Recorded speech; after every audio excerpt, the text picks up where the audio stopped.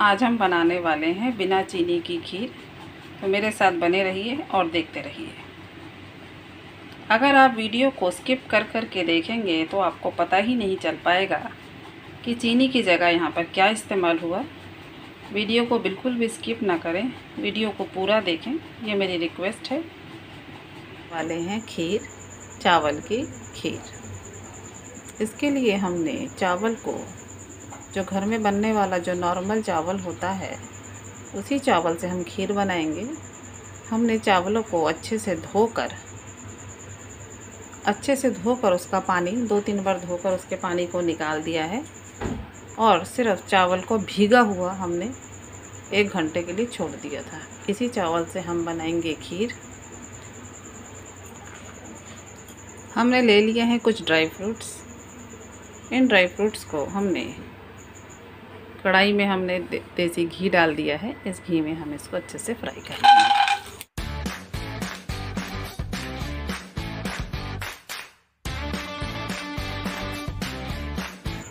Dry fruits अच्छे से घी में भुन चुके हैं, अब हम इन्हें निकाल लेते हैं। गीले करके रखे थे, भिगो के नहीं, गीले करके रखे थे, उनको हम डाल देंगे।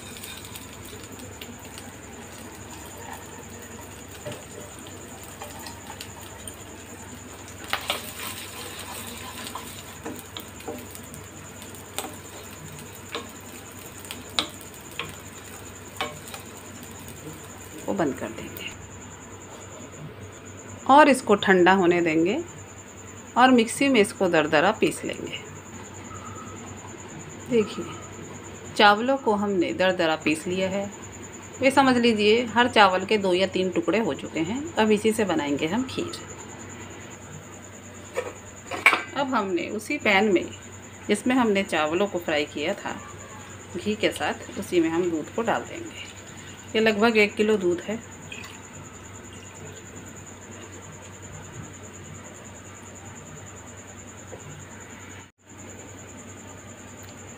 जैसे ही दूध में उबाल आने लगे, हम चावलों को जो हमने दरदरा पीस रखा था, इसमें डाल देंगे।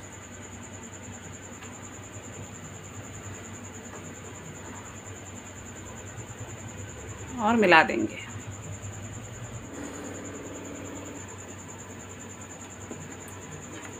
और इसको कंटिन्यूसली चलाते रहेंगे, नहीं तो ये तले से लग सकता है। खीर बनाने का यही एक वो है कि इसके लिए आपको वहीं पे खड़े होकर इसको बनाना पड़ेगा। इसको छोड़ के नहीं जा सकते आप। छोड़ के भी अगर आपको एक मिनट के लिए जाना हो तो इसको, पर्ची को इसके अंदर डाल के जाएँ। अच्छा अभी इसी भी, जब तक ये चावल इसमें पक रहे हैं, हम अपना एक काम कर लेते हैं। इसमें मैंने लिया है,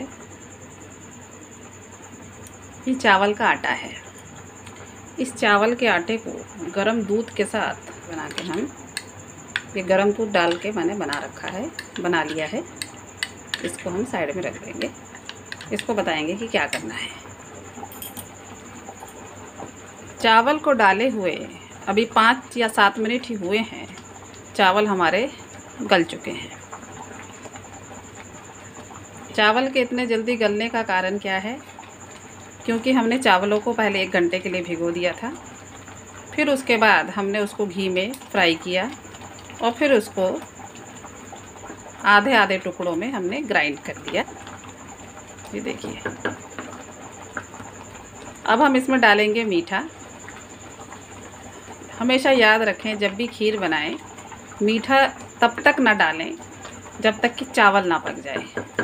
जैसे ही चावल पक जाएगा, उसके बाद ही हम उसमें मीठा ऐड करेंगे। और अगर हमने बिना चावलों के पकाए मीठे को ऐड कर दिया तो आपके चावल उसी स्टेज पर ही रह जाएँगे, उसी स्टेज पर स्टेबल हो जाएँगे, वो गलेंगे ही नहीं, वो सख्ती रह जाएँगे। इसीलिए मीठा डालने से पहले ये श्योर हो जाना चाहिए कि चावल आपके गले हैं या नहीं। और इसको लगातार चलाते रहेंगे, क्योंकि जैसे जैसे इसकी थिकनेस बढ़ती रहेगी, इसके नीचे लगने का डर उतना ही बनता रहेगा।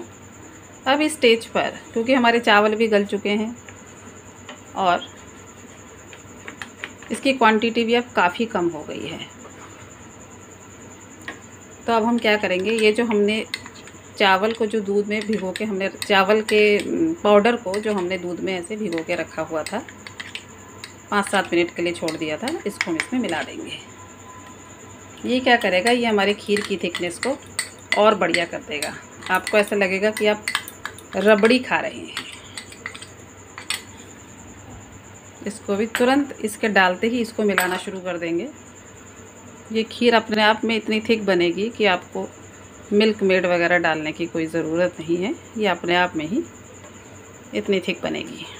पानी पानी सा छोड़ा हुआ, ऐसा खीर आपको ये नहीं लगेगा। ये कुछ छोटे छोटे टिप्स हैं, इनको आप फॉलो करके बनाएँगे तो खीर एक तो बहुत जल्दी बनेगी।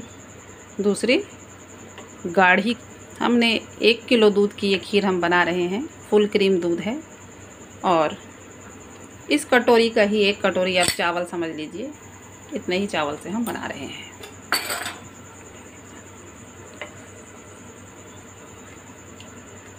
चावल ज़्यादा मत दीजिएगा।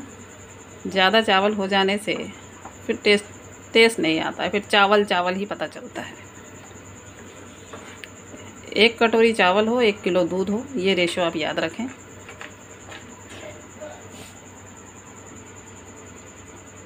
इसको तो आप सभी लोग जानते हैं। ये हैं बताशे। इसी से हम खीर बनाएँगे। चीनी से नहीं बना रहे हैं, बताशे से बना रहे हैं। अभी इसको ऐड कर देंगे।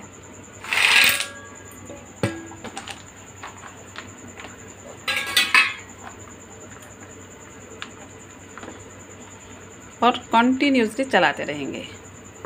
मीठा हम बहुत ज़्यादा खाना पसंद नहीं करते हैं, उसी अनुसार ही दे रहे हैं। आप अगर ज़्यादा मीठा खाना पसंद करें तो बताशों की क्वांटिटी बढ़ा सकते हैं। घी में तल के रखे हुए थे, उनमें से आधे दे देंगे, आधे छोड़ देंगे। ये गार्निशिंग के काम आएँगे।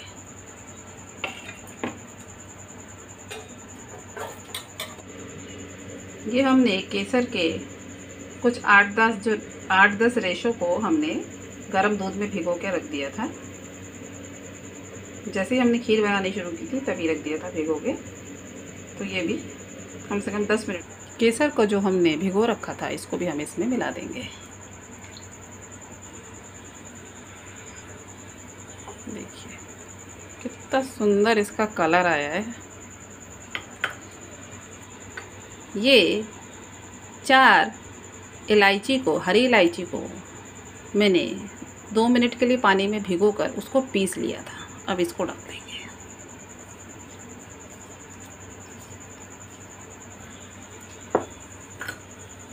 मिला लेंगे।